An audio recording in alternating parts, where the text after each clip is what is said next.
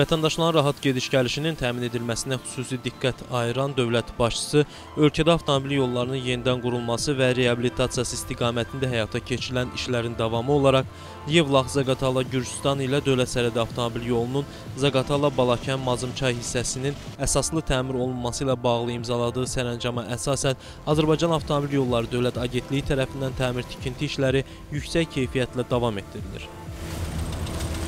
Əsaslı təmir olunan yolun uzunluğu 40 km, eni isə 13 metrdir.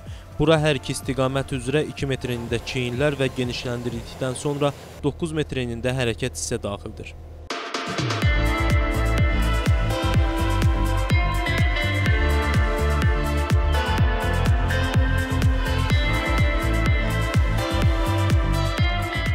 Layihə çərçivəsində yol boyu köhnə asfaltbeton örtüyünün üst qatı frezlənərək kənara daşınıb.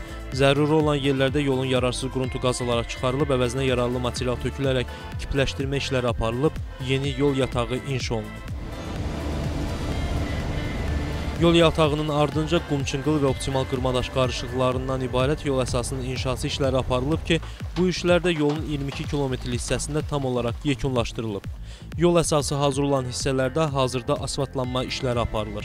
Bu çərçivədə yolun 18 kilometrlik hissəsinə artıq yeni asfalt beton örtüyü döşənib.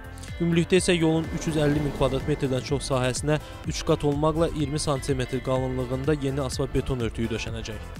Tikinti layihəsinə əsasən Azərbaycan Avtomobil Yolları Dövlət Agentliyi tərəfindən yol boyu mövcud olan 5 avtomobil körpüsünün əsaslı şəkildə təmiri nəzərdə tutulub ki, artıq 3 körpüdə bu işlər yekunlaşıb, ikisində isə bərpa işləri davam etdirilir.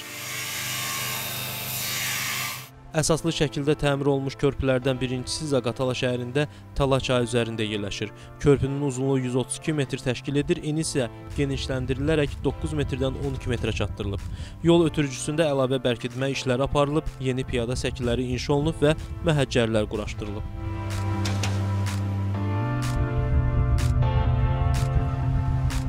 Təmiri yekunlaşmış daha iki körpü 12 metr uzunluğa malikdir. Körpülər Balakən rayonu ərazisindən keçən Humbul çayı və Balakən çayı üzərində yerləşir.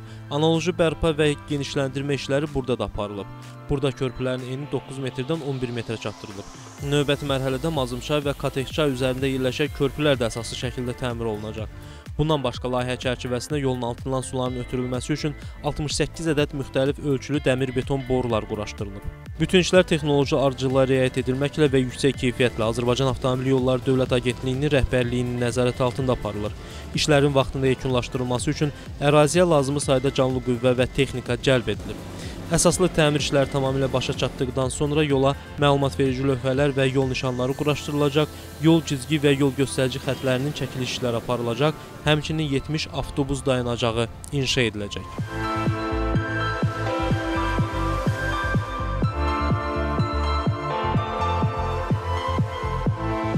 Qeyd edək ki, əsaslı təmir olunan Yevla-Zaqatala Gürcüstan avtomobil yolunun tərkib hissəsinə aid olan Zaqatala-Balakən-Mazımçay hissəsi 100,7 min nəfər əhalinin yaşadığı iki rayonun inzibati ərazisindən keçməklə 16 yaşayış məntəqəsini birləşdirir.